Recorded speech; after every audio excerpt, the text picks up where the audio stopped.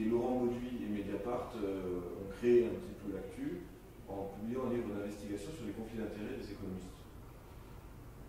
Qu'est-ce que ça t'évoque? Alors, cette question est effectivement centrale parce que ce sont les mêmes économistes qui, depuis un certain nombre d'années, en France et ailleurs, euh, sont, conseillent les politiques économiques qui ont été menées et, euh, ont inspiré ces politiques d'austérité qu'on connaît aujourd'hui. Ce sont les mêmes économistes. Alors pourquoi est-ce qu'aujourd'hui il y a un débat? Pourquoi il y a une polémique? Eh bien, je pense que le point de départ de ça, ça a été un film euh, qui est sorti aux États-Unis, qui est disponible en France, qui s'appelle Inside Job. Dans le film Inside Job, c'est un film qui démontre les mécanismes de la crise des subprimes et ses effets sur l'économie réelle. Il est remarquable. Hein. Moi, je, recommande le, visionnage de ce film euh, à tous. Et puis d'ailleurs, c'est Matt Damon qui, euh, euh, présente, donc c'est plutôt sympathique, enfin qui commente, et qui, démontre ces mécanismes et qui montre clairement les conflits d'intérêts des économistes universitaires qui sont au centre de ces politiques. Euh, donc il montre clairement comment, par exemple, Mishkin, qui était à la réserve fédérale, a été payé euh, pour écrire un rapport sur la stabilité financière en Islande, euh, a été payé pour montrer que le système islandais est, stable. Et le, journaliste montre clairement qu'il a été payé alors qu'il n'en avait absolument aucune idée.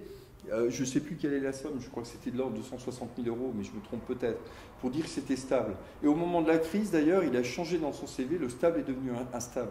Et le journaliste montre ça très bien. Donc ça a créé toute une polémique aux États-Unis. Et euh, à l'initiative de, mon ami, Jerry Epstein, qui est à Amherst, dans le Massachusetts, l'American Economic Association, qui est la grande, grande association d'économistes américains, euh, suite à ça, a eu un débat et elle a imposé une charte pour éviter ces conflits d'intérêts.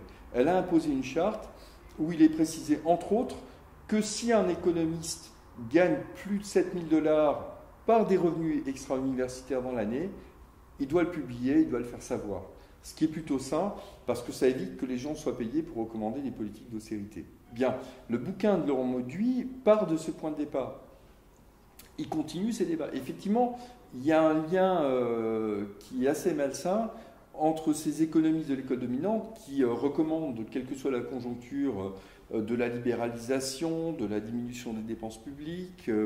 Euh, il s'inscrit dans un contexte aussi. Il y a eu un, article dans le monde diplomatique du mois de mars, je crois, sur les économies sagage.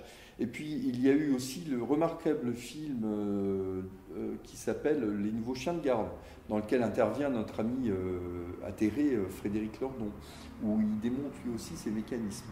Donc, euh, s'il y a cette domination de l'école, euh, cette domination de l'école néoclassique, s'il y a cette domination des libéraux, c'est aussi euh, à cause de ces liens malsains.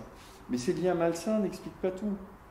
Ils sont certes à des postes clés, certes, quels que soient les gouvernements, on se retrouve avec les mêmes conseillers que je ne nommerai pas, mais Laurent Meuduit le fait très bien.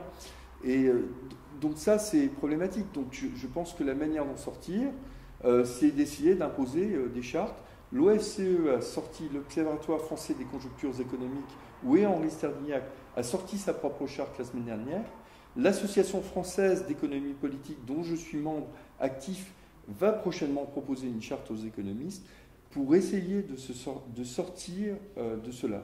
cela dit, cette charte ne suffira pas à éviter les conflits d'intérêts, euh, elle ne suffira pas à éviter que pour faire carrière aujourd'hui en tant qu'économiste, il faut montrer patte blanche, il faut écrire que les marchés sont efficients, il faut, ou alors on peut dire ils sont efficients, mais à court terme il y a quelques petites rigidités, il y a des externalités. C'est ce qu'on appelle les nouveaux keynésiens. C'est des gens qui sont euh, des keynésiens un tout petit peu à court terme.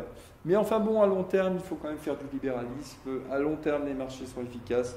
À long terme, les mécanismes de marché nous, promettent le bonheur, la prospérité, euh, ce qui nous a mené dans le mur depuis 30 ans et qu'on continue, en partie à cause de ces conflits d'intérêts, mais aussi euh, parce que pour faire carrière dans l'économie, il faut montrer patte blanche par rapport à cette idéologie-là.